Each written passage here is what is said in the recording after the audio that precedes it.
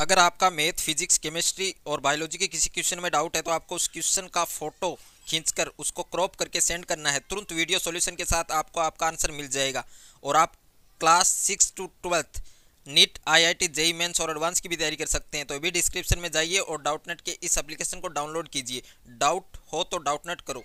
आप चौरासी सौ, चार सौ चार सौ, इस नंबर पर भी आप अपने क्वेश्चन का फ़ोटो क्रॉप करके सेंड कर सकते हैं। वहाँ पर भी आपको आपके क्वेश्चन का आंसर वीडियो सॉल्यूशन के साथ मिल जाएगा।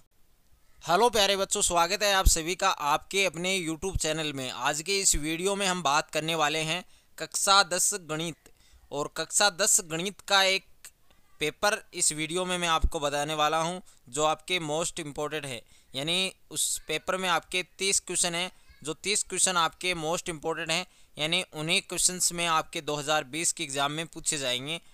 तो आपको वो पेपर पूरा तैयार करना है और पेपर को बताने से पहले आप सभी से मेरी एक रिक्वेस्ट है, यदि अभी तक आपने हमारे चैनल को सब्सक्राइब नहीं किया है तो सब्सक्राइब कर लीजिए और बेल आइकन को प्रेस कर लीजिए।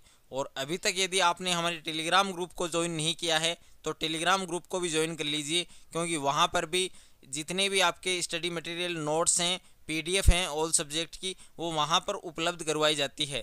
तो टेलीग्राम ग्रुप है, उसको ज़रूर आप ज्वाइन कीजिए और क्वेश्चंस है वो मैं स्टार्ट करता हूँ कि मैथ्स के क्वेश्चन है और ऑल इम्पोर्टेंट क्वेश्चन है जो आपके एग्ज़ाम में पूछे जाएँगे।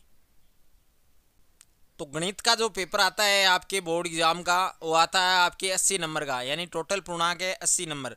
अब अस्सी में से आप इस पेपर में से पिचहत्तर प्लस नंबर आप आराम से प्लस कर सकते हैं, यानी कवर कर सकते हैं, लेकिन उसके लिए आपको ये पेपर पूरा तैयार करना होगा। माध्यमिक दो, परीक्षा 2020 की परीक्षा के लिए इम्पोर्टेंट है और इसमें ऑल इम्पोर्टेंट क्वेश्चन है तो सारे क्वेश्चन आपको तैयार करने हैं। अब पेपर में आपके कितने सेक्शन आते हैं? चार सेक्शन आते हैं।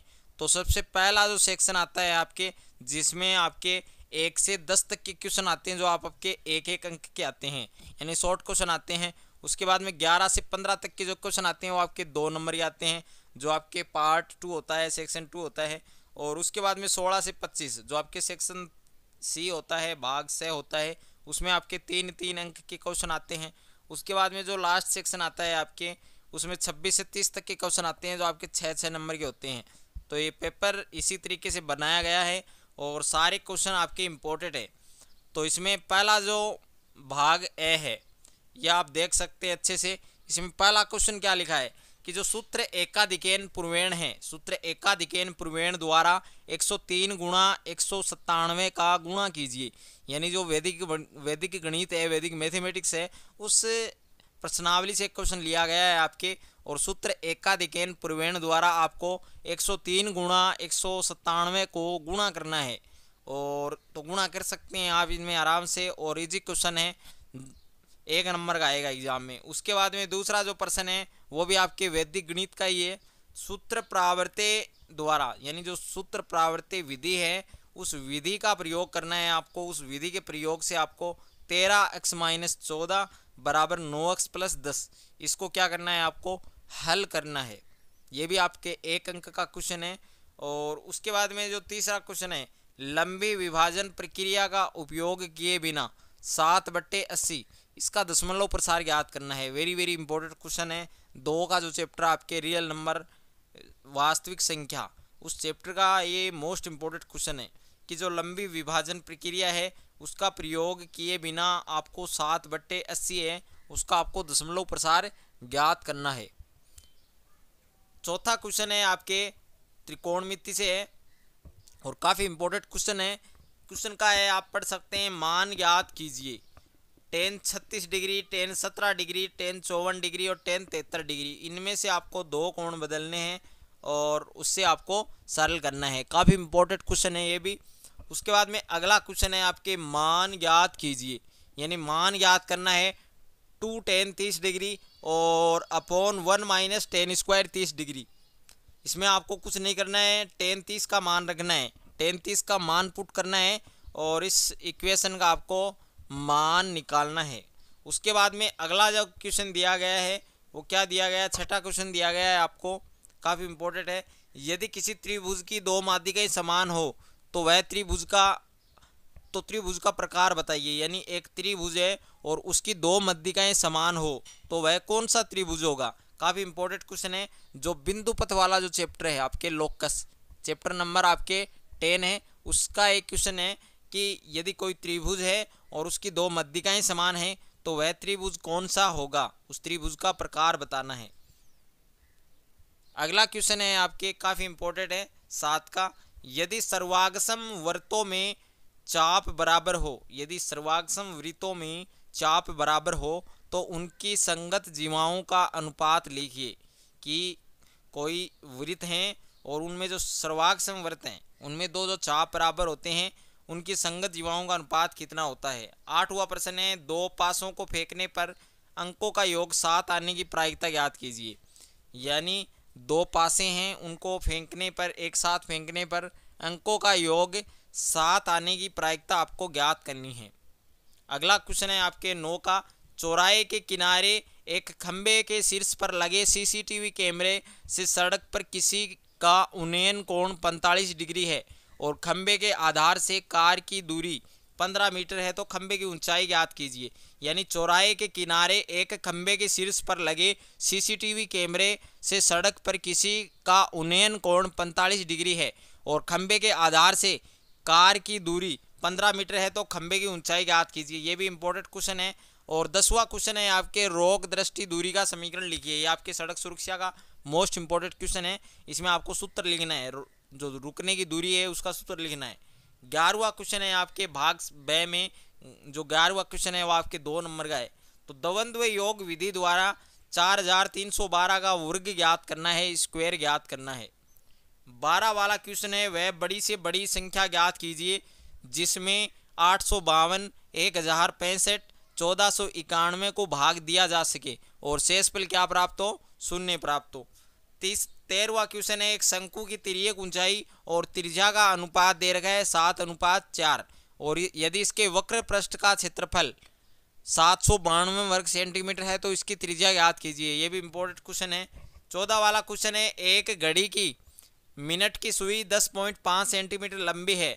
मिनट की सुई द्वारा दस मिनट में बनाए गए त्रिज्य खंड का क्षेत्रफल याद कीजिए। यानी एक घड़ी है, उसके मिनट की सुई है, वो दस पॉइंट पाँच सेंटीमीटर लंबी है। मिनट की सुई द्वारा 10 मिनट में बनाए गए त्रिज्य खंड का क्षेत्रफल याद कीजिए। पंद्रवा क्वेश्चन है, एक कार 20 किलोमीटर प्रति घंटा की गति से चल रही है तथा प्रत्येक घंटे के अंत में 10 किलोमीटर प्रति घंटा की गति को बढ़ाना प्रारंभ करती है। तो वह समय याद कीजिए जिसमें कार की गति 80 किलोमीटर प्रति घंटा हो जाए। उसके बाद में अगला सेक्शन है आपके भाग से तो भाग से में आपके बड़े वाले क्वेश्चन आएँगे। तो ये आपके सोलह का क्वेश्चन है, जो आपके तीन के चैप्टर से है पोलिनोमियल्स यानी बहुपद से। तो इसमें बहुपद एफ़ एक्स का मान दे रखा है एक्स क्यूब माइनस तीन x square plus x plus दो को बहुपद जी एक्स से भाग देने पर भागफल और शेषफल। एक्स माइनस टू और माइनस टू एक्स प्लस चार प्राप्त होता है। तो बहुपद जी एक्स ज्ञात कीजिए। ये भी काफ़ी इंपॉर्टेंट क्वेश्चन है। उसके बाद में अगला क्वेश्चन है आपके सत्रह का। काफ़ी इंपॉर्टेंट है। समांतर श्रेणी, तीन, पाँच, सात, नौ। इसमें 201 का अंतिम पद से पांचवा पद ज्ञात कीजिए, यानी एक समांतर श्रेणी दे रही है, और इसका आपको अंतिम पद से पांचवा पद ज्ञात करना है। अठारहवा क्वेश्चन है 25 मीटर ऊँचे एक स्तंभ के शीर्ष से, एक मीनार के शीर्ष का उन्नयन कोण और मीनार के आधार का अवनमन कोण बराबर हैं तो मीनार की ऊंचाई ज्ञात कीजिए। ये क्वेश्चन भी आपके काफ़ी इंपॉर्टेंट है। अगला क्वेश्चन है, आपके उन्नीस का है कि एक समधि भाव त्रिभुज। है त्रिभुज ए बी सी एक क्या है? समधि भाव त्रिभुज है जिसका कोण सी क्या है? समकोण। सिद्ध करना है कि ए बी का स्क्वायर बराबर टू ए सी का स्क्वायर बीस का क्वेश्चन है, सिद्ध कीजिए कि त्रिभुज की भुजाओं के लंब समद्विभाजक संगामी होते हैं। सिद्ध करना है कि त्रिभुज की जो भुजाएँ हैं, उनके जो लंब है, वो समद्विभाजक संगामी होते हैं। काफ़ी इंपॉर्टेंट क्वेश्चन है ये भी। और अगला क्वेश्चन है आपके इक्कीस का। सिद्ध कीजिए कि वृत्त के बाहर स्थित किसी बिंदु से वृत्त पर खींची गई दो स्पर्श रेखाएँ परस्पर समान होती है। सिद्ध करना है कि वृत्त के बाहर स्थित किसी बिंदु से वृत्त पर खींची गई दो स्पर्श रेखाएँ परस्पर क्या हो? समान हो। बाईस का क्वेश्चन है, किसी बिंदु ओ पर दो पॉइंट चार सेंटीमीटर त्रिज्या लेकर वृत्त बनाइए और इसमें साठ डिग्री का कोण बनाती हुई दो त्रिज्याएँ ओए ओबिक की रचना करके ए और बी पर स्पर्श रेखा खींच, खींचिए, जो परस्पर बिंदु टी पर प्रतिच्छेद करती है। काफ़ी इंपॉर्टेंट क्वेश्चन है, आपके कंस्ट्रक्शन का है, जो रचना वाला जो चैप्टर है आपके, उसका है। और तेईस वाला तेईस वाला क्वेश्चन है आपके अट्ठावन मीटर वाले वृगाकार घास के मैदान के सिरों पर दो वर्ताकार भाग जोड़ने का प्रस्ताव है। प्रत्येक वृत्त का केंद्र वर्ग के विकिरणों का प्रतिच्छेद बिंदु ओ है। तो पूरे मैदान का क्षेत्रफल ज्ञात कीजिए। काफ़ी इंपॉर्टेंट क्वेश्चन है ये भी। अच्छे से तैयार करना है आपको।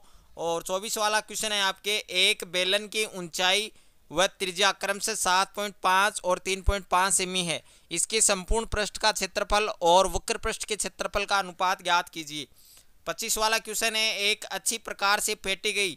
बावन पत्तों की एक गड्डी में से एक पत्ता निकाला जाता है। इसकी प्रायिकता ज्ञात कीजिए कि यह पत्ता चेहरे वाला पत्ता हो और चेहरे वाला पत्ता न हो। काफ़ी इंपॉर्टेंट क्वेश्चन है, ये भी आपके जो प्रायिकता वाला जो चैप्टर है, उसका है इंपॉर्टेंट क्वेश्चन है। अब जो आपके सेक्शन डी है, यानी भाग द है, इसमें आपके छः छः नंबर वाले क्वेश्चन हैं। तो ये वाले क्वेश्चन तो आपको अच्छे से तैयार करने ही है, जिसमें छब्बीस वाला क्वेश्चन आपके ग्राफ का आता है। और ग्राफ आपके इज्जे आता है कि निम्न रेखिक समीकरण युगम को अलेखी विधि द्वारा हल कीजिए और वाई अक्ष तथा युगम द्वारा निरूपित रेखाओं से निर्मित निर्मित त्रिभुज के शीर्षों की निर्देशांक ज्ञात कीजिए। ये आपके समीकरण दे रखे हैं। तो आपको क्या करना है? ग्राफ बनाना है। और सत्ताईस वाला प्रश्न है, निम्न सर्व समीका को सिद्ध कीजिए। अब यहाँ पर आपको कुछ सर्व समीकाएँ हैं जिनको आपको प्रूफ करना है, सिद्ध करना है और इनमें आपको इम्पोर्टेंट ही मिलेंगी। तो सारी चार हैं जो चारों आपको सरल करनी है इसमें। और 28 वाला प्रश्न आपके निर्देशांक ज्यामिति का है बिंदु दे रहे हैं दो। इन बिंदुओं को जोड़ने वाले रेखाखंड ए बी को चार बराबर भागों में अंत विभाजित करने वाले बिंदुओं के निर्देशांक याद कीजिए। तो ये भी काफ़ी इंपॉर्टेंट क्वेश्चन है आपके। और उनतीस वाला क्वेश्चन है, सिद्ध कीजिए कि एक समकोण त्रिभुज के करण का वर्ग शेष दो भुजाओं के वर्गों के योग के बराबर हो, सिद्ध करना है। और अथवा में जो क्वेश्चन दिया गया है सिद्ध करना है कि वृत्त की दो जीवाओं से बड़ी जीवा वृत्त के केंद्र के निकट होती है। और तीस वाला क्वेश्चन है, इसमें आपको क्या याद करना है? बहुलक याद करना है। और दूसरा क्वेश्चन है, इसमें आंकड़ों का मध्यिका ज्ञात करनी है। मध्यिका ज्ञात करनी है और यदि पच्चीस है, उसको बावन में बदल दिया जाए तो नया माध्यिक क्या होगा? तो इस तरीके का क्वेश्चन तो नहीं आता है आपके आपके जो ग्रुप वाला क्वेश्चन आता है तो उस क्वेश्चन को आप अच्छे से तैयार कर लें। जैसे ये तीस वाला पहला क्वेश्चन है, ऐसा क्वेश्चन आपके आ सकता है। इसमें माध्य समांतर माध्य कल्पित माध्य कुछ भी पूछ सकता है तो इस तरीके का क्वेश्चन आप ज़रूर तैयार करें। और वीडियो आपको अच्छा लगे तो वीडियो को लाइक करें, दोस्तों के साथ शेयर करें और इस पेपर का लिंक आपको डिस्क्रिप्शन में मिल जाएगा, वहाँ से आप इस पेपर की पीडीएफ डाउनलोड कर सकते हैं। मिलते हैं नए वीडियो में, तब तक के लिए thank you thank you so much